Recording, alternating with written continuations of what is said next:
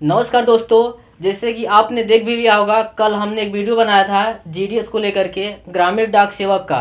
तो बताया तो उसमें तीस हज़ार इकतालीस पोस्ट आई हैं। तो काफ़ी स्टूडेंट का, काफ़ी एस्पिरेंट का कमेंट रहा कि, सर, हम किस राज्य से, हम किस ज़िले से अप्लाई करें कि मेरा कम परसेंटेज है?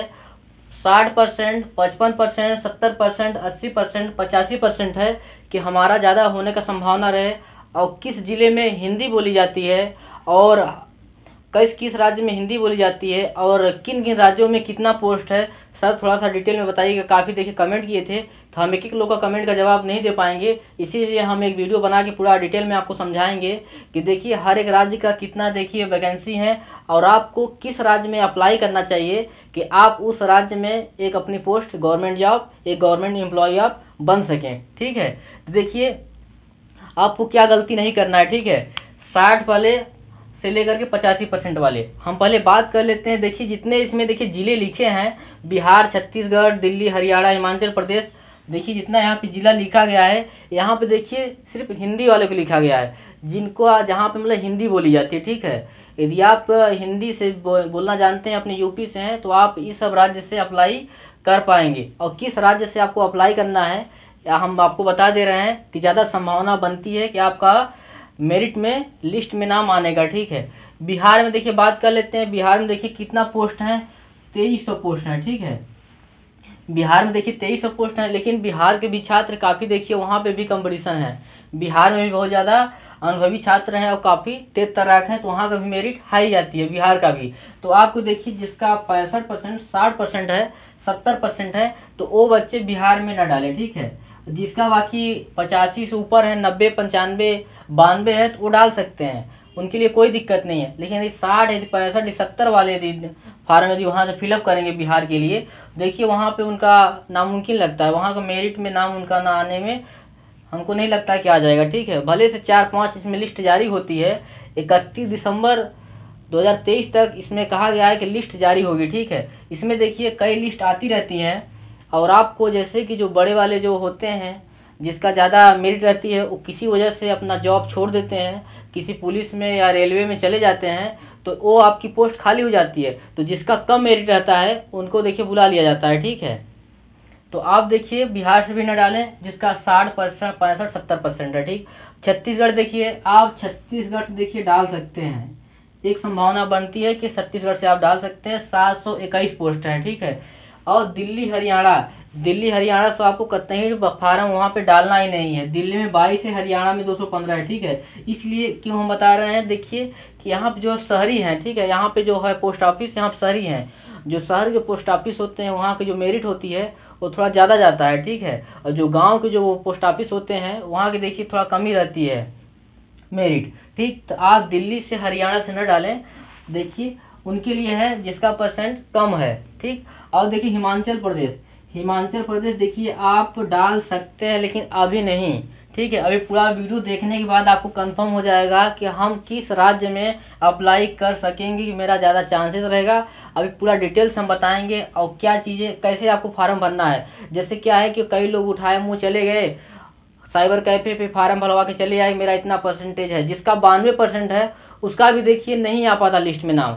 और जिसका जैसे देखिए पचपन परसेंट है, उसका देखिए साठ परसेंट है, उसका देखिए कहीं ना कहीं चौथे लिस्ट में, पाँचवें लिस्ट में नाम देखने को मिल जाता है। तो उनको गवर्नमेंट जॉब मिल जाती है। लेकिन वो अपना देख करके वीडियो अपने जानकारी ले करके कैसे फार्म फिलअप करें पी डब्ल्यू हैं मतलब C S T S C हैं तो पी डब्ल्यू का भी क्लियर करवा दी एस टी का भी डलवा दी उसी में।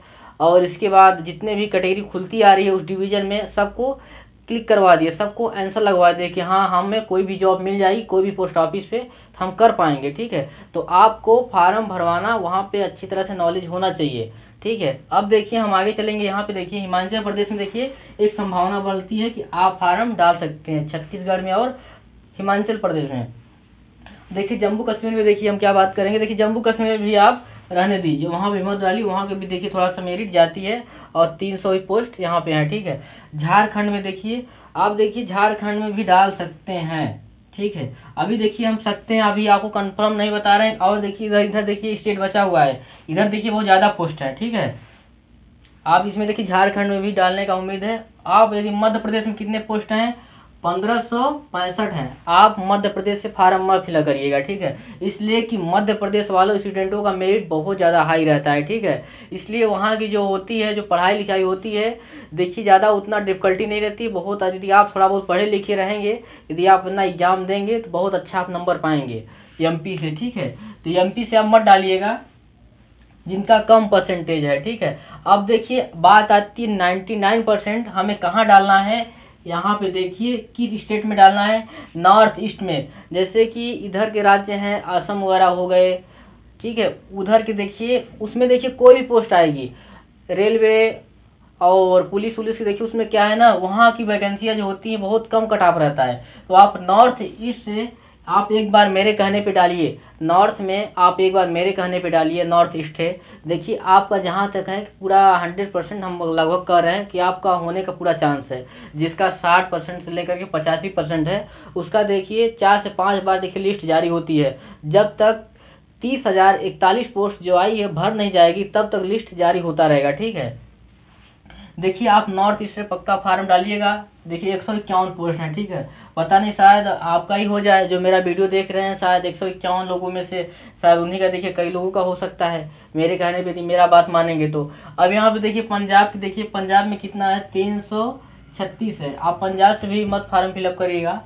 ठीक है? आप राजस्थान में आ जाइए। राजस्थान में कितना है? दो हज़ार इकतीस है। राजस्थान में देखिए बहुत ज़्यादा देखिए पढ़ाकू लड़के हैं, ठीक है? राजस्थान देखिए, राजस्थान हो गया और बिहार हो गया, यूपी हो गया, ये सब देखिए कंपटीशन का देखिए टक्कर देखिए देने वाले सब राज्य हैं, ठीक है? तो आप राजस्थान से भी फिलअप करिएगा। उनके लिए हम बता रहे हैं, जिनका परसेंटेज कम है और एक जॉब वो लेना चाहते हैं, ठीक है? और देखिए, उत्तराखंड में देखिए कितना है? पाँच सौ उन्नीस है। उत्तर प्रदेश में कितना है? तीन हज़ार चौरासी है, ठीक है? तो हम बता दें, देखिए, पूरा देखिए, हिंदी बोले जाने वाली भाषा का हम बता रहे हैं, ठीक है?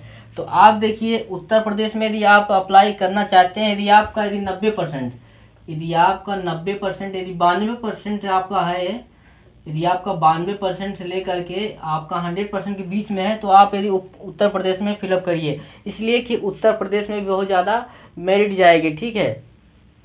अब देखिए आपको क्या करना है, जैसे आप जब फार्म जब फिलअप करवाए जाएँगे साइबर कैफ़े पे, देखिए आपको क्या करना है, वहाँ पे कैसे क्या चीज़ें कराना है। जैसे देखिए आप पी डब्ल्यू हैं, ठीक है? पी डब्ल्यू हैं, इसके बाद एस टी एस सी हैं, आप एस सी हैं, ठीक है? ठीक है, आप पी डब्ल्यू से मतलब कि एस सी है, ठीक? तो आप क्या करेगा वहाँ पे जब जाएँगे डिवीज़न जब फार्म फिलअप करवाने के लिए तो आप देखिए पी डब्ल्यू का देखिए, जब वहाँ पे खोलेंगे डाटा देखिए पी डब्ल्यू में जितने मतलब वैकेंसियाँ उसमें आ, आएँगी। आप देखिए पी डब्ल्यू में टोटल देखिए उसमें ऑप्शन में जो रहेगा क्लिक कर दीजिएगा कि हाँ हम कर सकते हैं कोई भी हमें पी डब्ल्यू में पोस्ट मिलेगी इससे रिलेटेड हम कर पाएँगे ठीक है करेंगे। अब आप जब खोलेंगे एस का अपना एस में भी काफ़ी खुल जाएँगे ठीक है तो एस का भी कर दीजिएगा। और इसके बाद जनरल में भी जाएँगे आप जनरल में। आप जनरल भी फाइट करिएगा जनरल का भी आप अपना जो सीट रहेगी उसको भी देखिए क्लिक करिएगा वहाँ से भरिएगा ठीक है। आशा करते हैं कि आपको बहुत अच्छा वीडियो समझ में आया होगी, पूरा डिटेल से बता दिए हिंदी में। जैसे आप लोग कमेंट करेंगे, फिर आप तरह से कोई वीडियो बनाया जाएगा। तब तक के लिए जय हिंद। यदि आप मेरे चैनल को सब्सक्राइब नहीं किए हैं तो प्लीज़ सब्सक्राइब कर लीजिएगा।